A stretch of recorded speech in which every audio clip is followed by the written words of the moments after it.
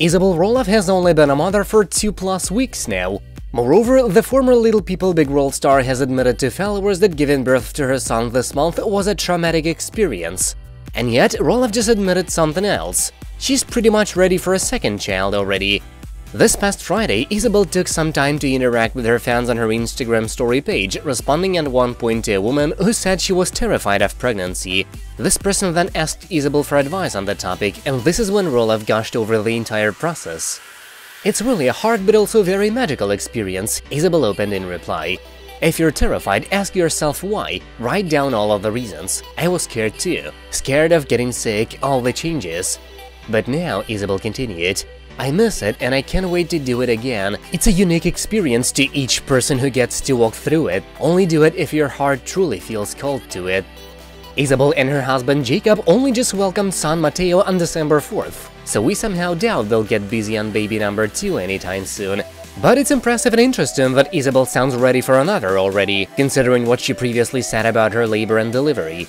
Tired and happy, wrote Isabel over a selfie a week ago, adding, a lot of you are asking if I had a C-section. No, but my birth plan completely flew out the window, it was almost comical. At least now I can kind of reflect on it with some humor. Continued Isabel, shedding a bit of light on what transpired and how it impacted her newborn, who spent some time in the NICU. It was wild and traumatic, and maybe I'll share my birth story sometime. For now, I'm just glad I adapted and trusted the entire process. I would do it all again to get Mateo here safely. Now for lots of rest and postpartum healing. Jacob and Isabel started dating in 2014 after a meeting in high school. The couple got engaged in 2018, got married in September 2019, and announced they were expecting their first child together in July 2021. We know Mateo isn't Net Worth, and we also know we won't be getting a glimpse of the newborn anytime soon. We knew before we had him that we wanted to protect his privacy online, Isabel told followers a few days ago.